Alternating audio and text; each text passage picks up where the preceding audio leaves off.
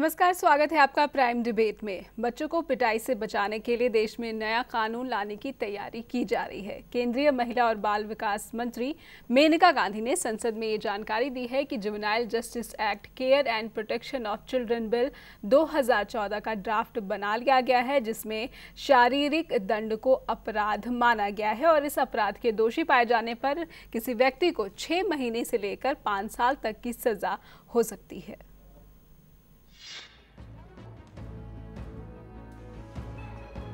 केंद्र सरकार बच्चों के लिए एक नया कानून लाने जा रही है, जिसके तहत अगर माता पिता अध्यापक या फिर रिश्तेदार उनकी पिटाई करते पकड़े जाते हैं तो उन्हें जेल की हवा खानी पड़ सकती है। बच्चों की पिटाई के दोषियों को पाँच साल तक की सजा का प्रावधान किया जा रहा है। केंद्र सरकार जुवेनाइल जस्टिस एक्ट 2000 की जगह नए कानून पर काम कर रही है। नया कानून juvenile justice care and protection of children bill 2014 पेश किए जाने की तैयारी चल रही है। नए कानून को बच्चों के अधिकारों और अंतर्राष्ट्रीय कानूनों को ध्यान में रखकर तैयार किया जा रहा है। महिला और बाल विकास मंत्री मेनका गांधी ने बच्चों की पिटाई और रैगिंग जैसे मसलों की ओर संसद का ध्यान आकर्षित कराया था। केंद्रीय मंत्री ने सदन को भी प्रस्तावित बिल के ड्राफ्ट की जानकारी दी। नए प्रावधानों के तहत शारीरिक दंड को अपराध माना जाएगा। इस बिल को कैबिनेट की मंजूरी के बाद संसद में पेश किया जाएगा। अगर बिल पास हो जाता है तो भारत दुनिया के ऐसे 40 देशों में शुमार हो जाएगा, जहाँ बच्चों को शारीरिक दंड देना मना है। पहली बार शारीरिक दंड देने के दोषी पाए जाने पर जुर्माना और छह महीने की सजा और दूसरी बार दोषी पाए जाने पर पाँच साल तक की सजा हो सकती है।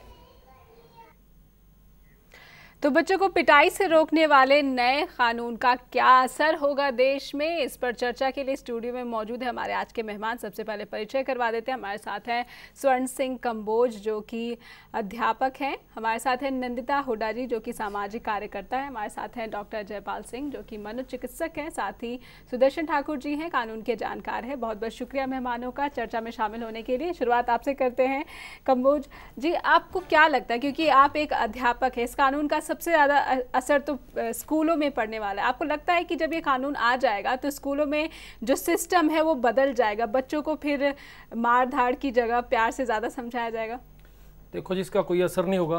हम्म, अब भी जो टीचर्स हैं हम्म। उनको कठिनाई का सामना करना पड़ रहा है। मार वो नहीं सकते। जी।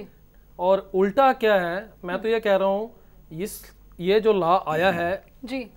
जो बच्चे हैं वो टीचर को मारने लग गए। हम्म।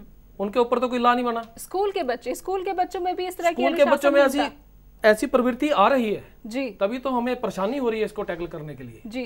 तो अगर बच्चों के मन में डर ही नहीं रहेगा और टीचर भी क्या कहता कहता मैं अपनी एक महीने के बाद पे मिलती है क्यों मैंने मारना? हम्म। जो बच्चा बिगड़ रहा बिग- बिग- अपना बिगड़ जाने दो। नहीं तो कोई दूसरा दंड का तरीका नहीं है। अगर आप पनिशमेंट ही देना चाहते हैं तो पिटाई क्यों ज़रूरी है? क्या द- दंड आप दूसरा दंड का और तरीका क्या होगा? खड़ा उसको नहीं कर सकते। हम्म। मुर्गा उसको नहीं बना सकते आजकल। हम्म। कोई ग्राउंड में चक्कर उसको नहीं लगा सकते। तो या तो सरकार ही बताए ना कि दंड आप इस तरीके से दे सकते हैं। अब एक टीचर के पास इतना टाइम तो है नहीं कि एक बच्चे को समझाता रहेगा। हम्म। और जैसे अभी काउंसलर भी सीबीएसई ने कहा प्रोवाइड की है। जी जी। लेकिन मैंने तो आज तक किसी काउंसलर को काउंसलिंग करते देखा ही नहीं बच्चे की। हम्म। उनको पीरियड दे दिए जाते हैं। आप पीरियड लो जी। पीरियड में जा रहे हैं। तो सिर्फ़ एक खाना पूर्ति की है सरकार ने। हम्म। और ये है कि हाथ बाँध दी है। एक मिडिल जो मिडिल तबका है ना हम्म। मिडिल तबके यानी ये कानून आ जाएगा तो अध्यापक जो पहले से ही परेशान है उनके हाथ और भी सख्त कर दिए जाएँगे। बिल्कुल सख्त कर दिए जाएँगे और आप देखेंगे कि ऐसा माहौल बनेगा कि अध्यापकों को ही मार खानी पड़ेगी। यानी अनुशासनहीनता की कमी बच्चों में देखी जाएगी नैनिता जी आपको क्या लगता है? आप भी दो बच्चों की माँ हैं। आपको लगता है कि पिटाई ही एकमात्र ऐसा तरीका है जिससे अनुशासन बनाया जा सकता है बच्चों में? मेरा मानना है कि मार पिटाई किसी चीज़ का समाधान नहीं है। जी। और हम अगर समय लगाएँ तो प्यार से हर चीज़ को टैकल कर सकते हैं। हम्म।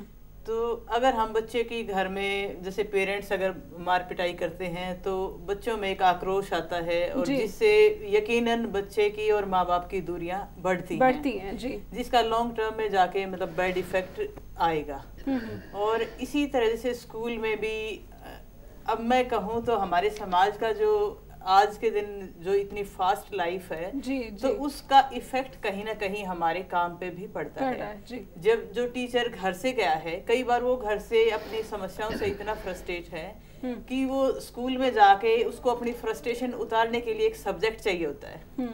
और वो किसी ना किसी बहाने किसी बच्चे के रूप में अगर मिल जाता है तो अपना सारा गुस्सा उस पर निकाल देते हैं। कई बार बच्चे का कसूर होता है और कई बार बेकसूर बच्चा कसूर कम और पनिशमेंट ज़्यादा मिल जाती है। कई बार शायद तो ऐसे केसेस देखने को मिलते हैं। हमें बहुत धैर्य से समझ के और बच्चों का भविष्य देखते हुए देखते उनके हुए, साथ नरमी जी। से पेश आना चाहिए। डॉ- डॉक्टर आपसे जानना चाहेंगे कि आपके पास कई तरह के इस तरह के पेशेंट भी आते होंगे। बच्चे बच्चे जो कि छोटी उम्र के होते हैं उनमें ना समझ होती है उनका रिश्ता बेहतर बन सके इसके लिए ज़रूरी नहीं है कि हम बच्चों को मारे ना बल्कि प्यार से समझाएँ कि क्या देखो और किस्म के दंड भी दिए जा सकते हैं। जैसे एक दंड होता है टाइम आउट कि बच्चा अगर कोई शरारत कर रहा है तो उसको कहा जाता है कि तुम एक कोने में खड़े हो जाओ पाँच मिनट के लिए। तो जनरली जैसे अगर सात साल का बच्चा है तो सात मिनट पाँच साल का बच्चा तो पाँच मिनट ये एक रूल ऑफ़ द थम होता है। तो उसको कहो कि उसमें आपने खिलौने से नहीं खेलना एक कमरे में।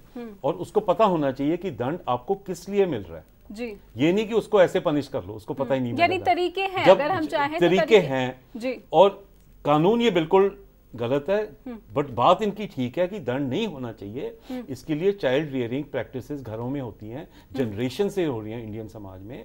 तो इसको पब्लिक पर आप कानून को सही नहीं मानते। बिकॉज़ कानून इज़ बहुत प्यूनिटिव है ना। कानून बड़ा रिग्रेसिव कानून है कि आप दंड दे रहे हैं। अब आप देखो बच्चे की परवरिश आप करना चाहते हैं। आप कहते हैं कि मिनिस्ट्री ऑफ़ चाइल्ड वेलफेयर तो वेलफेयर क्या हुआ? उसके पेरेंट्स को तो वहाँ डाल दिया। अब बाहर के कंट्रीज़ में अगर कोई अग्रेसिव मदर होती है जैसे स्वीडन में इंग्लैंड में तो उसको फॉस्टर होम में रखा जाता है। उसको प्रोटेक्ट किया जाता है। यहाँ तो चाइल्ड को तो प्रोटेक्ट नहीं किया उसको खाना भी नहीं कोई खिलाएगा। अगर उसको तीन साल की सजा मिल गई आप खुद बताइए उसका कौन परवरिश करेगा। बाकी कंट्रीज़ में है। They can take such steps तो अभी पब्लिक अवेयरनेस क्रिएट करके मीडिया टॉक से यानी इतनी जल्दी ये कानून नहीं लाया जाना चाहिए था। कानून बिल्कुल नहीं का, कानून से कभी कुछ जी मसले नहीं सुलझते। हाँ, कानून के जानकार हमारे साथ बैठे सुदर्शन जी आपसे राय लेना चाहेंगे कि एक सख्त कानून लाया जा रहा है कि बच्चों को आप नहीं मार सकते। आपको लगता है कि इस कानून के भीतर उस तरह के फॉर्मेट्स नहीं होंगे जिसके तरह मान लीजिए कि अगर माता ज़्यादा अग्रेसिव है और वो बच्चों को मारती है तो क्या सरकार ये बिल्कुल नहीं सोचेगी कि बच्चे की देखभाल कौन करेगा? देखिए जब तक डिटरेंट कानून नहीं हुआ हमारे पास तो एक इसका इम्प्लीमेंट कैसे करेंगे? बिल्कुल। बच्चे कहाँ से सीखते हैं? ये जो वायलेंस है इनकरेजिंग जो वायलेंस होता है बच्चे घर से सीखते हैं। या टीचर से सीखेंगे स्कूल में जो पिटाई करते हैं या घर में पिटाई करेंगे। बिल्कुल, बिल्कुल। तो वो वायलेंस है। उसके बाद आपके साइकोलॉजिकल जो डिप्रेशन हाँ जी जो बच्चों में है। जी। और एक देखें रिपोर्ट देखें एनसीपीसीआर का अगर हम रिपोर्ट देखें इंडिया में टू आउट ऑफ़ थ्री जो बच्चा है वो फिजिकली अब्यूज होता है। चाहे वो सरकारी स्कूल में हो चाहे वो कॉन्वेंट स्कूल में हो चाहे घर में हो। तो ये कानून ज़रूरी है खास करके इंडिया में। जी। हाँ अब हम बाहर देखते हैं हम हमेशा देखते हैं बाहर अमेरिका में ये हो रहा है कनाडा में ये हो रहा है। ये यूएन कन्वेंशन है यूएन की ट्रीटी है उसमें हमारा जो कंट्री है वो भी सिग्नेटरी है। अब यूएन के 38 कंट्रीज़ आज के डेट में इन्होंने ये कानून को इम्प्लीमेंट किया हुआ है। जबकि यूएन ने 120 पर, कंट्री पर पर सुदर्शन जी वहाँ के जो हालात हैं वो अलग है। उनके पास अच्छी फैसिलिटीज़ है अच्छे सेंटर्स हैं जो बच्चों की राइट्स के लिए काम करते हैं। पर क्या भारत में ऐसा पॉसिबल है जहाँ पे जो बच्चा है जिसका पालन पोषण सिर्फ़ और सिर्फ़ परिवार में होता ना कि यहाँ पर कोई भी ऐसा सेंटर है केंद्र है जहाँ पर हम अपने बच्चे को सुरक्षित पाते हैं? नहीं सबसे पहले देखिए कानून से हर चीज़ का मसला नहीं है। ये एजुकेट जब कानून आएगा फैमिलीज़ को पता चलेगा पेरेंट्स को पता चलेगा टीचर्स को पता चलेगा वो एक क्या कहेंगे इसको इनक्रेज करेंगे। आप जब तक एजुकेट नहीं करोगे किसी चीज़ का आपको पता नहीं चलेगा तब तक कैसे होगा? अब एनसीपीसीआर ने जो रिकमेंडेशन दिया था सारे चीफ सेक्रेटरीज को दिया था। उसके बाद एचआरडी ने भी सारे चीफ सेक्रेटरीज को दिया और राइट टू एजुकेशन बिल में जी। आप बच्चे की पिटाई नहीं कर सकते। हैं अगर किसी टीचर ने भी किसी प्रकार का पिटाई की तो वो डिसिप्लिनरी एक्शन होगा उसके अगेंस्ट लेकिन जो नए कानून के हिसाब से वो थोड़ा सा बाहर निकलता है वो घर तक पहुँचता है रिमांड होम्स में कमो साहब आपसे जानना चाहेंगे कि ऐसा नहीं है जब हम भी छोटे छोटे थे तो पढ़ाई करने जाते थे जो टीचर हमें ज़्यादा स्नेह देता था हम उसकी बात ज़्यादा मानते थे। तो ये बिल्कुल फैक्ट्स ऑब्वियस सी बात है कि बच्चा उससे ज़्यादा जुड़ता है उसकी बातें ज़्यादा मानता है जो उसको प्यार ज़्यादा देता है। नहीं वो तो मैं बात मानता हूँ आपकी पर लेकिन जैसे मैडम ने कहा अभी ये सर कह रहे थे मैं बिल्कुल सहमत नहीं हूँ कि टीचर हर कोई टीचर घर से लड़ाई करके जाता है तो बच्चे पे निकलाता है। कोई ऐसा डिप्रेस नहीं जाता। वो सौ में ये- हो सकता है। जी। कभी कभी होता ठीक है। देखो सर बैठे हैं डॉक्टर साहब बैठे हैं। साइकी प्रॉब्लम हो सकती है। या ये सर कह रहे हैं कि पटाई जो है टीचर से बच्चा सीखता है। हम्म। टीचर से अकेली पटाई तो नहीं सीखता। पढ़ाई भी सीखता वो। हम्म। पढ़ाई भी सीखता। अगर आ, अगर बच्चे क्लास में आप आप बोल रहे हैं ये लॉ आ गया कि आप बच्चे को कुछ कह ही नहीं सकते। हम्म। तो बच्चा पढ़ेगा कैसे? कैसे पढ़ाएगा टीचर ये भी तो साथ में ला बना दो ना आप। जी जी। घूर बोल नहीं सकता। नंदिता जी हमारा देश जिसकी संस्कृति ऐसी है कि भगवान से भी पहले गुरु को स्थान दिया गया है ऐसे में गुरु को बाँध देना कितना सही है? देखो बच्चे आधा टाइम घर में बिताते हैं और आधा टाइम स्कूल में। जी जी। तो और इतना ही वो माँ बाप से सीखेंगे इतना ही वो टीचर से। तो अगर हम बच्चे का उज्जवल भविष्य चाहते हैं तो दोनों को संतुलित होके व्यवहार करने की ज़रूरत है। अति ज़रूरी है मतलब कि दोनों ये अच्छे से बच्चे को हैंडल करें। हम्म हम्म। क्योंकि जब हम बच्चे को चाहे घर में पेरेंट्स हों या स्कूल हों जब हम उसको अच्छे से हैंडल नहीं करते तो उसके ऊपर उसके साइकोलॉजिकल इफ़ेक्ट भी पड़ते हैं। शुरू हो जाता है, जिससे वो इमोशनली वीक है। हम्म। और जब भी कोई सिचुएशन आएगी तो वो अपने आप को एडजस्ट नहीं कर पाएगा और उसका जो व्यवहार होना चाहिए निखर के आना चाहिए हम्म। जो उसकी प्रोग्रेस होनी चाहिए कहीं ना कहीं उसमें बाधा होगी। और जहाँ तक ये कानून है तो इसके लिए मैं ये कहूँगी कि पहले हमें माहौल क्रिएट करने की ज़रूरत है। हम्म हम्म। अगर हमारे आप, आप मानती हैं कि ये जो कानून, कानून उसके अच्छा हमारा है देश कानून अच्छा है। है पर इसके इम्प्लीमेंटेशन के लिए हमें वो माहौल भी चाहिए कि अगर बच्चे को घर में हरास किया जा रहा तो उसको उससे अच्छा माहौल हम कहाँ देंगे? जी। तो उसके उस लिए हमें सोचने जी, की ज़रूरत उसकी तैयारी हमें पहले से काफ़ी करनी पड़ेगी। हाँ आमतौर पर देखा जाता है कि जब बच्चा बच्चे बच्चे को शारीरिक रूप से ज़्यादा दंड दिया जाता है तो वो फिर एक तरह से तनाव में चला जाता है और वो चिड़चिड़ापन उसके स्वभाव में झलकने लगता है। वो बात बात पे गुस्सा होता है और ज़्यादा गुस्से गुस्सैल रवैया अपनाता है। तो डॉक्टर साहब ऐसे बच्चों को कैसे ट्रीट किया जा सकता है? देखो अब तो ये है कि जो अच्छी पेरेंटिंग होनी चाहिए पॉजिटिव पेरेंटिंग होनी जी, चाहिए। positive। जब बच्चा कुछ अच्छा करता है तो उसको प्रेज करो। जैसे किसी दिन हम लोग जिस दिन बच्चे ने होमवर्क नहीं किया उसको डांटते हैं। बट कितने दिन उसने होमवर्क किया भी अच्छा किया उसको प्रेज करो। उसको कोई एक चार्ट बना के स्टार लगा दो कि आज आपको एक स्टार मिला महीने में अगर आपको तीस दिन में अगर अट्ठाईस का स्टार मिलेंगे पच्चीस स्टार मिलेंगे आपको एक पिक्चर दिखाई जाएगी। सम इम्प्रूवमेंट और अगर पनिशमेंट करना भी पड़ता है ये डेफिनेटली है कि घरों में पनिशमेंट करना पड़ता है because that is essential but फिर वो कुछ नॉन फ़िज़िकल पनिशमेंट होनी चाहिए। और एक अब कल्चर की बात हो रही थी तो बेसिकली इंडियन कल्चर में है बच्चों का पालन पोषण होता है। जी।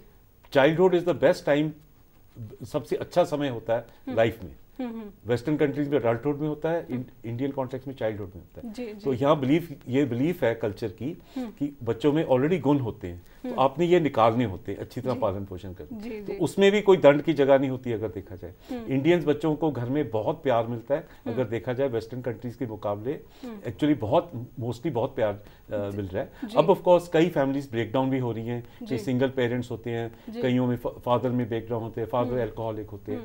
और दूसरी बात कंबोज साहब कह रहे थे अबाउट वायलेंस इन चिल्ड्रन तो ये वायलेंस सिर्फ़ घर से नहीं सीखते पिक्चरों में वायलेंस है हर एक जगह वायलेंस है। अब हमारी गवर्नमेंट को देखो मतलब they have done very good things in many ji. But जैसे अब सिनेमा में देखो रेप सीन्स अलाउड है मर्डर सीन्स अलाउड है आदमी हंड्रेड्स ऑफ़ गोलियाँ चला रहा है पता नहीं पूरी आर्मियों के साथ लड़ाई कर रहा है वायलेंट वे में ब्लड दिखाया जा रहा है ये सब अलाउड है। पर जब अगर वो स्मोकिंग करता है देवानंद किसी पिक्चर में तो उसमें एक मैसेज आ जाता है smoking is harmful to health so sometimes the priorities are not wrong smoking is bad rape is alright this is the message हम अभी भी अपनी प्रायोरिटीज ही उतनी set we have not in the process sometimes ऊपर से एक order blanket order आ जाता है ये खत्म करो। कि ये खत्म करो। बातें सुदर्शन जी आपको क्या लगता है जिस तरह से कह रहे हैं कि अच्छी पेरेंटिंग होनी चाहिए और ये बहुत ज़रूरी भी है लेकिन हम बहुत कमी पाते हैं स्कूलों के बीच और जो साइकेट्रिस्ट है उसके बीच में। इस तरह की अरेंजमेंट गवर्नमेंट अभी तक नहीं कर पाई है और वो सडनली एक लॉ ला रही है और जो कि बहुत स्ट्रिक्ट है। देखिए सबसे पहले तो सोसाइटी को एजुकेट करना पड़ेगा हम्म, कि जो लॉज आ रहे हैं या स्कूल में टीचर्स अभी हमारे जो सर बैठे हुए हैं वो कहते हैं कि बच्चों का ये हाल है। तो वो सोसाइटी की ज़िम्मेदारी हम सोसाइटी में कैसे एजुकेट कर रहे हैं? लेकिन जब तक आपके पास कोई डिटेरेंट लॉ ना हो हम्म, अब ये ज़रूरी नहीं है कि पेरेंट्स तक सीमित है। अब जो बच्चे बाहर ढाबा में काम कर रहे हैं। दूसरे। इंस्टीट्यूट्स में काम कर रहे हैं। रिमांड होम्स में जो बच्चे हैं तो वो भी कवर करेगा। स्कूल में तो ऑलरेडी आपके राइट टू एजुकेशन में कवर कर रहा है। जी। वो ज़रूरी नहीं है वो हाँ तो अगर आप बच्चे को हाथ उंगली दिखाओगे तो आपके अगेंस्ट डिसिप्लिन रिएक्शन होगा। वो तो 2008 का कानून पे आ गया है। तो ये ज़रूरी है। आपको अब हम ये नहीं करेंगे वेस्टर्न कंट्रीज़ में ये होता है तो हमारे कंट्री में नहीं होना चाहिए। लेकिन जब तक कानून नहीं आएगा तो वो चीज़ सुधरेगा जी यानी परिस्थिति चाहे जैसी भी हो ये कानून मदद करेगा। अगर बच्चों को सही दिशा में आगे बढ़ाना है। आपको लगता है कि ये इस परिस्थिति में जिस तरह से सुदर्शन जी कह रहे हैं कि इस परिस्थिति में ये कानून असरदार साबित होगा? स्कूलों में जो कि पहले से ही कमियों से जूझ रहे हैं खासकर जो सरकारी स्कूल हैं उस उस सिचुएशन में ये लॉ इन्फोर्स कर दी जाती है। तो फिर किस तरह की आपको दिक्कतें होंगी और आपको सरकार से फिर किस तरह की उम्मीदें हैं? देखिए दिक्कत तो जैसे सुदर्शन जी ने बताया कि 2008 से ही शुरू हो गई हमारे को तो। जी। हमारे को तो पहले ही हाथ बाँध दिए। हाँ जो इन्होंने बात ये की है जी। कि जो ढाबे पे काम करते हैं उनके मालिक मारते हैं या कोई मेड घर में आती है वो पीटती है ठीक है, उन, उनके लिए ये लॉ जो है सख्त होगा। वो उनको फिर मतलब शोषण नहीं हो सकेगा बच्चों का। लेकिन स्कूल में तो ऐसा हो ही नहीं रहा। अगर होता भी है तो अगले दिन ही उसको टर्मिनेट कर दिया जाता है या सस्पेंड कर दिया जाता है। वो टीचर तो पहले डर के बैठा है। वो तो कहता है बच्चे को कहता तू मेरा बाप है भाई। तू कुछ लिख के ला ना लिख के ला तेरा काम तो मैं ही कर दूँगा। जो मैं देखता हूँ। नहीं तो क्या है एक- क्या उस गुरु की ये नहीं अच्छी जेस्चर नहीं होगा कि वो उस बच्चे को बुलाए और प्यार से समझाए कि तू ये काम कर। मैडम बात ऐसे है। एक क्लास में अस्सी बच्चे हैं। अगर गुरु एक एक बच्चे को बुलाएगा तो पता नहीं कितने दिन लगेंगे उसको। उसका सिलेबस तो रह जाएगा। जब बच्चे फेल होते हैं फिर ऊपर से शोकज नोटिस आ जाता है बच्चे क्यों फेल हुए? अब या तो अफसरों को जानकारी नहीं है। अब देखो एक एसी कमरे में बैठ के लाभ बनाना बड़ा आसान है। जी। लेकिन उसको इम्प्लीमेंट करना और स्कूलों तक बच्चों तक पहुंचाना ये बहुत कठिन काम है। मेरे हिसाब से तो मैं मैं तो एग्री नहीं करता इसे। हाँ ठीक है अगर जो ढाबे पे काम करते हैं मेड है कोई ऐसा उनके लिए ठीक है। यानी कानून होना चाहिए लेकिन एक लिमिटेड लिमिट तो होनी चाहिए ना कहीं। जी। या तो हमारे को बताएँ वो कि बच्चों को ऐसे पढ़ाओ। वो नहीं पढ़ाना। अब टीचर तो फ़र्स्ट एड होके आ रहा है घर से। बच्चा भी तो होके आता है ना। जी। वो भी कभी चौक लगता मारता नहीं है कि एक जो हेल्दी माइंड है एक स्वस्थ जो दिमाग है वही एक स्वस्थ जो संदेश है वो सब में फैला सकता है? नहीं देखो इसमें हेल्दी माइंड की बात नहीं होती। These are very professional things बड़ी सीरियस टॉपिक्स हैं। चाइल्ड रियरिंग कैसे की जाए? जैसे मैं बताता हूँ एल्कोहल के अगेंस्ट जैसे ये भी एक बड़ी प्रॉब्लम है। तो कानून बड़ा सख्त जैसे हम हमें आदत है तो छोटा बच्चा है वो असहाय है हम उस पर हाथ उठा सकते हाँ, हैं तो- हमारा कुछ नहीं बिगड़ेगा। नहीं हाँ, बिगड़ेगा तो अगर वो कानून बनता है तो जज should at least for three chances send him for say ten hours of counselling उसको मूवीज़ दिखाते हैं बिठा के। जैसे ड्रंकन के साथ ऐसे ही करते हैं ड्रंक ड्राइवर्स जो एक्सीडेंट करते हैं ना वेस्टर्न कंट्रीज़ में ऐसे दिखाते हैं उनको बिठाते हैं दिखाते हैं कि किसी ने मारा और वो कितना उसकी फैम जो विक्टिम था उसको कितना हर्ट हुआ उसकी बॉडी देखो कैसे है। तो उससे एक पॉजिटिवनेस आती है। तो say ten hours of counselling और फाइव आवर्स ऑफ़ काउंसलिंग ये ज़रूरी होना चाहिए। Try to change the practice in the person because the person is not a terrorist I mean he is not a terrorist कि terrorism के मेरे ख्याल इतना सख्त सजा एक्चुअली कोर्ट्स नहीं देते मर्डर के लिए भी नहीं देते। लोग तो तीन चार साल के बाद भाग गए इसमें बच्चे पे हार्ट उठाया तो तीन साल। I I think it's more a Taliban type law लोगों से मिलती जुलती हैं और कई सामाजिक कार्यों में लगी हुई हैं। आपको लगता है कि कितने परिवार ऐसे होंगे जहाँ बच्चों को इतने प्यार और स्नेह के साथ रखा जाता होगा? देखिए बहुत हैं। और मैं ये कहती हूँ कि पेरेंट्स और टीचर बच्चों के लिए रोल मॉडल हैं। जी। वो उनसे ही सीखेंगे अगर पेरेंट्स बच्चों को मारते हैं तो वो अपने छोटे भाई बहन को मारना शुरू कर देंगे। घर से बाहर जहाँ भी छोटे बच्चे दिखेंगे तो वो उनके ऊपर अपना हाथ उठाएँगे। तो हर चीज़ का समाधान है कि हमें सबसे पहले तो अपने जो ड्यूटीज़ हैं as a mother as a father अगर हम उसको निभाने की सोचेंगे तो हम हाथ उठाना भूल जाएँगे। हम्म हम्म। क्योंकि उसके लिए फिर हमें समय लगाने की ज़रूरत है। पर वो टीचर जिसके पास 80 से ज़्यादा स्टूडेंट्स हैं एक क्लास में उसके पास वो समय कहाँ है? तो सरकार को चाहिए कि सुविधाएँ उपलब्ध कराएँ। और जो टीचर्स हैं वो भी इन द मेन टाइम जो है हमारे पास समय तो कोई ऐसी टेक्निक ढूंढें कि हम बिना मार पिटाई के जी बच्चों जी, तक एक मैसेज वो तो तब ढूंढेंगे ना जब उनको इस तरह की सुविधाएँ मिले। सुदर्शन जी आपको लगता है कि जो शिक्षा है देश में वो इस स्थिति में है कि इस तरह के कानून को बर्दाश्त कर सकता है? क्योंकि जो हमारा एजुकेशन सिस्टम है वो पहले से ही रो रहा है अपने हालात पर ना जो टीचर्स हैं उनको अच्छी तरह से पे मिलती है वेतन मिलता है वर्किंग आवर्स उनको प्राइवेट स्कूल्स में ज़्यादा देने पड़ते हैं यहाँ तक कि जो स्कूल के टीचर्स हैं सरकारी उनको भी दस तरह के दूसरे कामों में फंसा दिया जाता है देखिए एक तो जो हम ये कॉर्पोरल पनिशमेंट बच्चों को देखते हैं इसमें हम्म। देखिए सबसे ज़रूरी बात क्या है हम्म। कि बच्चे में जब तक सेल्फ कॉन्फिडेंस ना हो हम्म। या कॉन्फिडेंस अगर उसको हो अब स्कूल में जाके हर टीचर तो एक तरह का होता नहीं है। टीचर्स में कई हैं जैसे नंदिता मैम कह रहे थे कि कई फ्रस्ट्रेटेड टीचर्स आते हैं। अब हमारे भी टीचर्स रहे हैं जिनके आज तक उनकी वजह से हम यहाँ पहुँचे हैं। हम्म। लेकिन बीच में कुछ होते हैं जैसे पीटीआई हो गए हम्म। वो सौ बच्चों के सामने आपकी वहाँ पे डंडे मार देंगे मॉर्निंग असेंबली में। हम्म। तो वो बच्चे का एक जो साइकोलॉजिकल डैमेज है वो एक तो क्या एक डंडे से कुछ नहीं होगा लेकिन इतने बच्चों के सामने जो। उसकी पिटाई होती है उस बच्चे उस वजह से कई बच्चे देखे हमारे अपने क्लास में थे कई बच्चे ऐसे छोड़ के चले गए अच्छे फैमिलीज़ के बच्चे।